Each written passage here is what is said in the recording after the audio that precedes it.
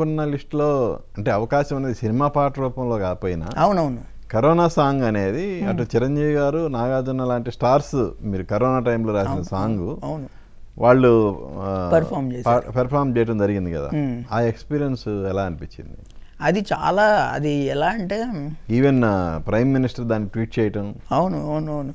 అది అసలు అనుకోకుండా జరిగిందనమాట.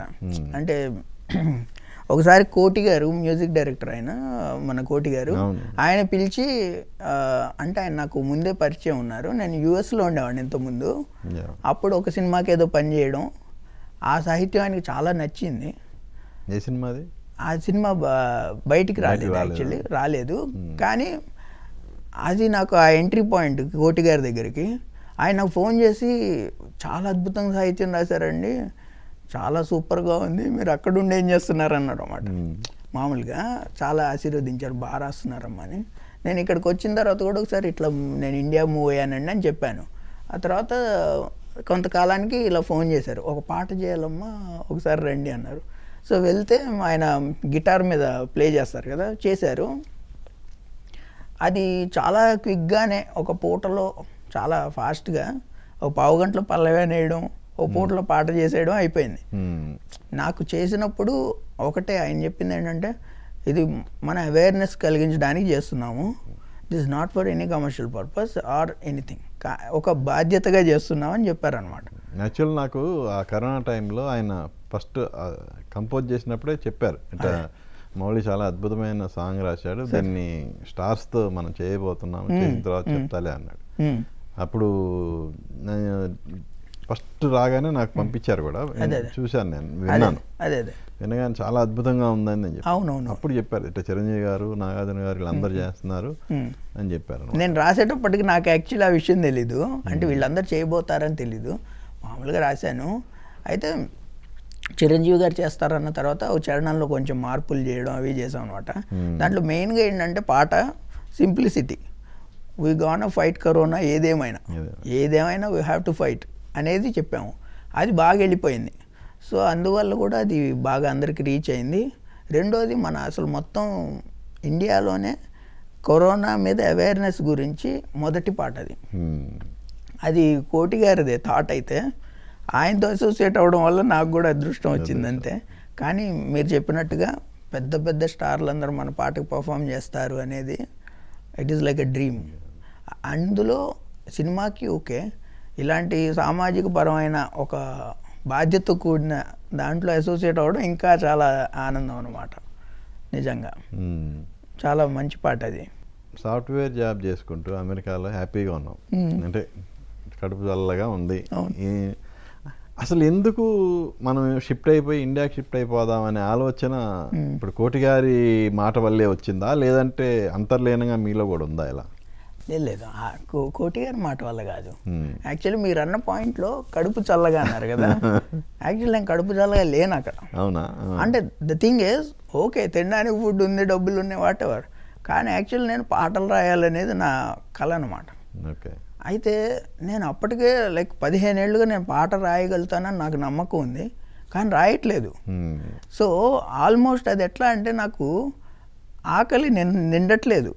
సో మీరు అన్న పాయింట్ యాక్చువల్లీ మనకు అవుట్ సైడ్ చూస్తే కడుపు చల్లగా ఉంది మన లైఫ్ సెట్ అయిపోయింది. కానీ అలా లేదనమాట. Hmm. సో ఎప్పుడైతే నాకు అది ఇది కలుగుతుందో అంటే బ్రాడర్ పర్స్పెక్టివ్లో లైఫ్ని చూసినప్పుడు ఓకే ఏం చేయాలనుకుంటాం?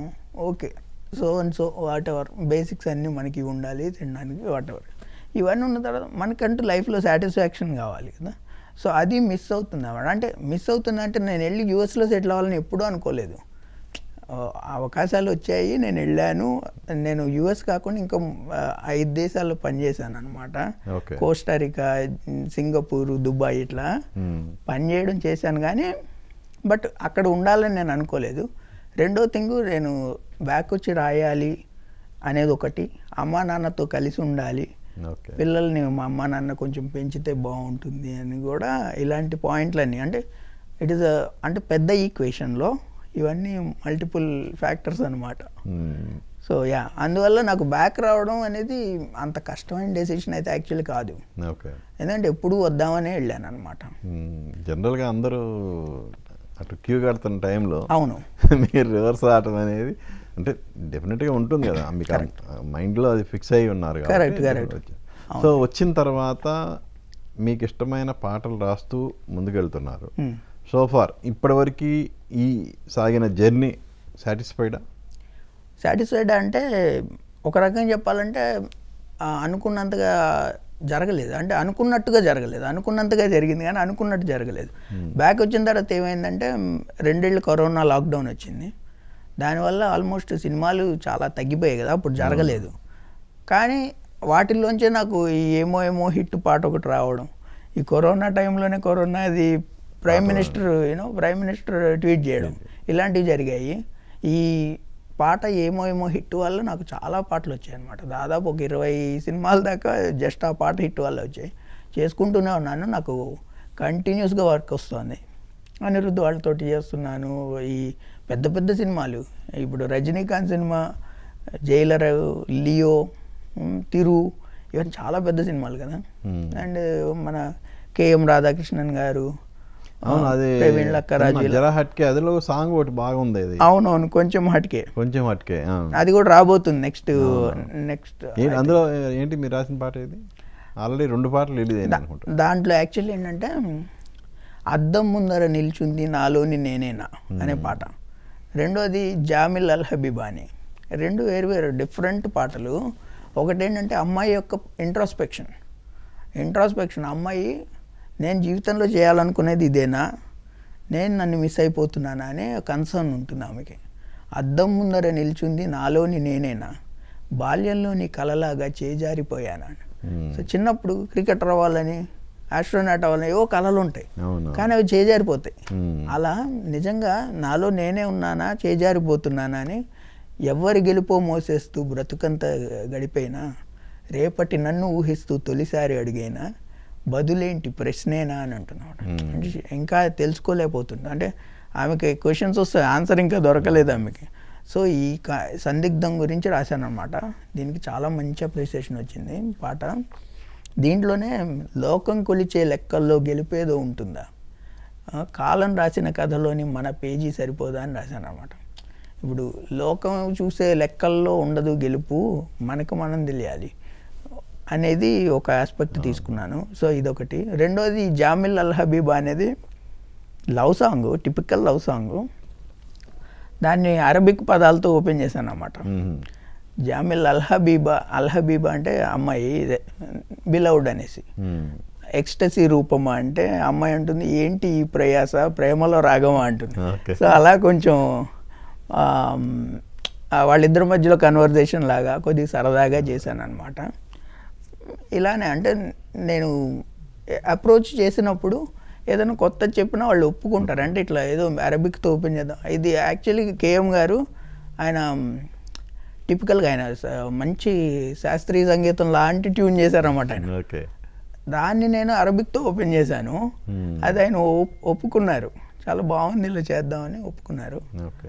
సో సో అవి కాకుండా ఇప్పుడు ప్రజెంట్ ఏంటి రాస్తున్న పాటలు ఏంటి ఏ సినిమాలు? ఇప్పుడు గీతాంజలి టూ అది రెడీగా ఉంది. రిలీజ్ అవ్వడానికి కొంచెం హట్కే.